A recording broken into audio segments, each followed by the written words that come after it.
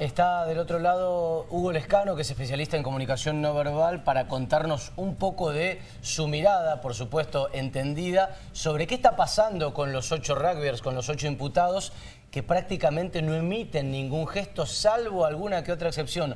Eh, Hugo, saludarte antes que nada, muy buenas tardes. Estamos acá, Sofía, Marisol y, Julián, esperando escucharte. ¿Cómo te va? ¿Qué tal? ¿Cómo les va? Ah, bueno, gracias por, por la invitación. Eh, sí, esto es un juicio en el que eh, generalmente cuando ocurren estas cosas, eh, que es un juicio que repercute en, la sociedad, existen ciertas estrategias en la comunicación, tales como ponerse de acuerdo para sentarse de una manera o hacer silencio o, o, colocarse todos un barbijo, que en este caso la, la fuerza de seguridad también tenían barbijo, por esa razón también cabe la posibilidad de que haya sido parte de un protocolo, tengamos en cuenta que ellos vienen de estar privados de la libertad y en esas poblaciones carcelarias también hay otras, eh, otras cuestiones virales que pueden eh, surgir y existe esa, esa precaución de parte de, la instancia judicial, ¿verdad? Ahora bien, el, la boca tapada eh, que, que, sería en el diccionario de la comunicación no verbal el código el código de comportamiento número 73, porque es eh, ya sea con la mano o con un barbijo, como en este caso, eh, nos da una falsa sensación de, impunidad. Eh, por esa razón, en tiempos de pandemia, la cantidad de mentiras que, se han dicho en el mundo, en nuestro laboratorio trabajado en Argentina, eh, se ha eh, duplicado, triplicado en algunos casos, porque mentimos con más facilidad, por ejemplo, nos sentimos más impunes cuando tenemos la boca tapada. Por esa razón decimos que este, esta cuestión del barbijo lo favoreció en la primera parte, en las primeras, primeras horas del juicio, porque ellos se sentían un poco más a gusto. Aunque no hayan eh, hablado, Hugo. Aunque, no hayan hablado, es una sensación de tranquilidad que les daba. Sí, es, una, es un fenómeno de la comunicación que se descubre con la pandemia. Por esa razón digo que en un proceso judicial eh, ellos hubiesen estado mucho más cómodos con el barbijo durante todo el juicio. Claro, eh, evidentemente no, no formaba parte de un protocolo, fue una decisión porque ya hoy no lo tuvieron. no, habría razón para que el protocolo no se sostuviera. Tenían el pelo corto eh, o cortado de casi de la misma forma los ocho. Eso también llama Bueno, en realidad lo del barbijo, eh, como decía anteriormente, fíjense que la fuerza de seguridad que está atrás, todas tienen, eh, el barbijo. El abogado ha pedido que quitaran, se quitaran el barbijo, primero le negaron eh, la posibilidad y luego el tribunal accedió, por lo cual ahora seguramente ya en las próximas horas vamos a ver fotografías a cara descubierta. Aún así, Aún así, en esta foto, por ejemplo, que estamos viendo en pantalla, se pueden ver algunas emociones, porque no es posible engañar al cuerpo para, para que uno pueda eh, eh, simular que está bien de manera permanente. El, hay gestos a través de microexpresiones, por ejemplo, en los ojos, que nos indican cómo se sienten las personas, inclusive en las manos. Fíjense la postura de las manos a la altura de los genitales, tapándose los genitales como en una postura eh, similar al, tiro libre. Barrera de fútbol, claro. que es justamente una postura defensiva. Y el segundo, que está de izquierda a derecha, además tiene las manos en posición de ruego, que es un, un gesto emblemático que solemos hacer cuando nos sentimos realmente en desventaja. El último, de la fila, el último que está a la derecha, vamos a decir, en primera fila, van a ver ustedes que además tiene los brazos adelantados y los codos casi apoyados en sus piernas, lo que indica que eh, su, su, postura refleja una, una posición de quebranto emocional, de sumisión. No es lo mismo esa postura que el tercero, contando de la izquierda a derecha, que ustedes lo ven más erguido, y con las cejas hacia adentro, que es una unidad de acción número cuatro que refleja nuestro enojo cuando no estamos de acuerdo con lo que está sucediendo. ¿Y los hombros caídos, qué, qué, qué lectura dan? Bueno, justamente el último que te decía recién, que tiene los brazos hacia adelante, tiene los hombros caídos, los hombros vencidos. Y si ustedes pudieran tomar, cosa que en la foto no, lo no se va a poder, pero si la cámara hubiese estado de costado, veríamos también el, el cuerpo encorvado.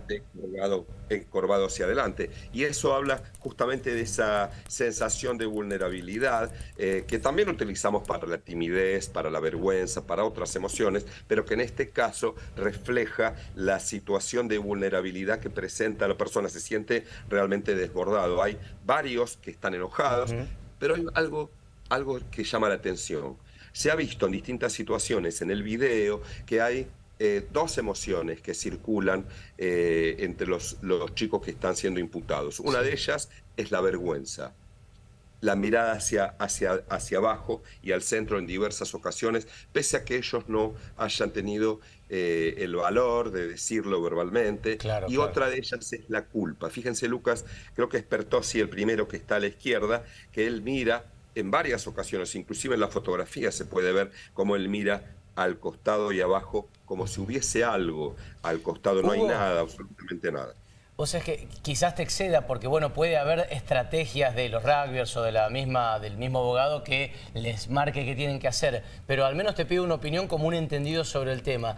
El hecho de que estén así prácticamente impasibles, que no haya nada que les cambie la gestualidad, muchas veces mirada al frente, otras para abajo, como bien está señalando ahora, pero muchas veces mirada al frente casi con orgullo y queriendo simular una falta de culpa o una indolencia. Eh, ¿Se te ocurre por qué podrían haber ideado presentarse así, porque uno pensaría lo contrario, pensaría que, querrían dar pena o que querrían mostrarse más humanizados, y sin embargo lo que se ve es lo opuesto. Coincido. Coincido con vos y te cuento, yo hace muy poco he terminado como mi, actividad como perito en el caso García Belsunce, eh, al, realizar el peritaje, eh, el más que peritaje, la pericia, vamos a decir, sobre, no, el peritaje sobre, mejor dicho, de manera técnica, sobre la, el lenguaje corporal de Pachelo, y he tenido, la, le he podido ver por dentro cómo los fiscales o los abogados eh, que acusan eh, generalmente eligen un camino equivocado, que es el camino de la agresividad, de la agresión a los testigos, como, como ha pasado con el caso de la chica que aplicaba RCP, que ustedes recién comentaban. Ellos creen que esa es una buena estrategia, culpabilizar a otros. Eh, yo he presentado el peritaje del caso Belsunce tres horas frente a tribunales y parecía que yo era el acusado. Eh, eh, prácticamente el fiscal quería hacerme a mí responsable de cosas que yo no tenía absolutamente nada que ver. Eh, sí puedo hablar que a través de, las, de, de los gestos, de las emociones que reflejan los gestos de estos imputados, se refleja también la falta de consideración emocional que tienen los abogados que han llegado al punto de querer culpabilizar a una persona que lo ha querido salvar al muchacho. ¿sí? O sea que si ellos culpabilizan a la chica que aplicó RCP porque prácticamente eh, fue culpable de haber que Fernando se haya muerto, mm, ¿qué más les toca a los que ellos están defendiendo? Claro. Bien, bueno, eh, un buen detalle este que señalás respecto de que aunque no bajen la cabeza, el hecho de bajar la mirada denota vergüenza, porque si no, eh, la impresión que a uno que no sabe leer esto, la impresión que le queda es que son unos indolentes.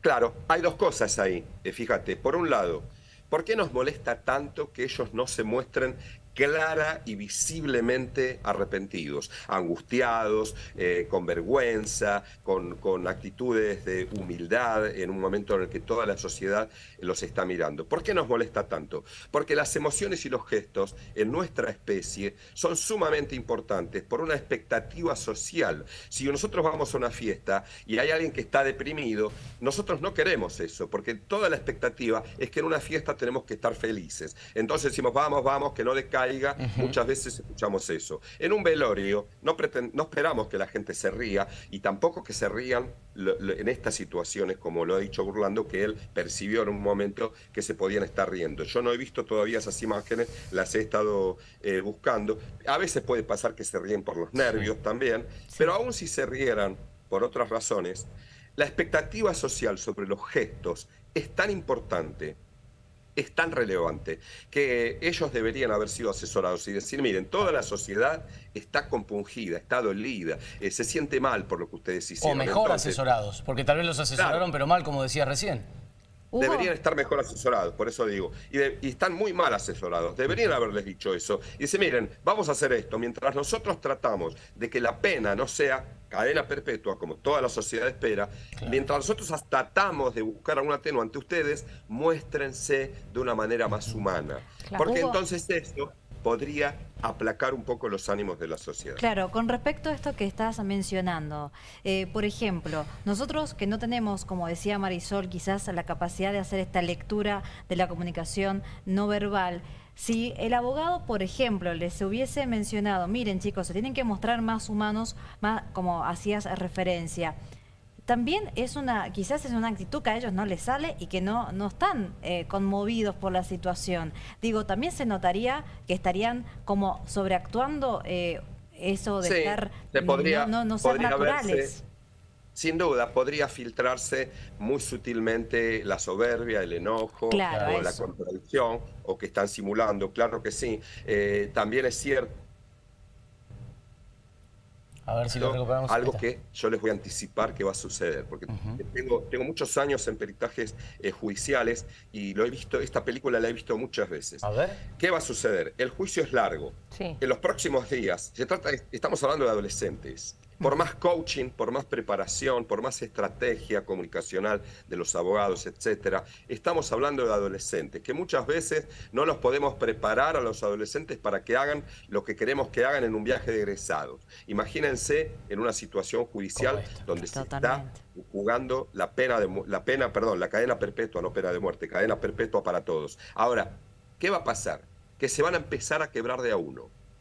Y van a ver ustedes y, me comprometo a estar con ustedes en la lectura de esto, lo que va a suceder en los próximos días, porque cuando, si lográramos tener las imágenes, que yo estoy viendo si pues las consigo, de cuando ellos entran y cuando ellos se ponen de pie y salen, vamos a empezar a identificar la distancia que ellos eligen entre cuerpo y cuerpo, que es la misma distancia que nuestro laboratorio analiza cuando los jugadores entran a la cancha para saber si tienen confianza grupal.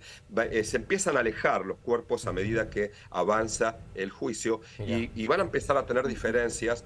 Algunos van a muy probablemente se quiebre también la situación corporativa de la defensa y en algunos casos algunos dicen, no, yo quiero otro abogado porque no estoy de acuerdo con esto, los padres comienzan a tener también diferencias emocionales. Esto es algo que va a suceder porque sucede siempre, porque somos humanos y porque no podemos tener una uniformidad emocional hasta el final. Bien, es interesantísimo lo que estás eh, planteando sobre el final de la charla, que se va a romper esta, como bien lo decís, esta actitud corporativa. O un pacto que han hecho también. De moverse como bloque, claro, tanto que se ha hablado del pacto de silencio o el pacto de ir todos hacia el mismo lado y de las mismas formas, vos decís esto se va a empezar a resquebrajar y va a ser cada vez más visible. Y, justamente lo que, sí, lo que decís, Hugo, perdón, agrego, eh, coincide con lo que marcan otros especialistas como peritos forenses y demás, que aseguran que va a haber un quiebre en la relación de estos ocho imputados. Claro, ¿cómo haces eh, cuando te están acusando directamente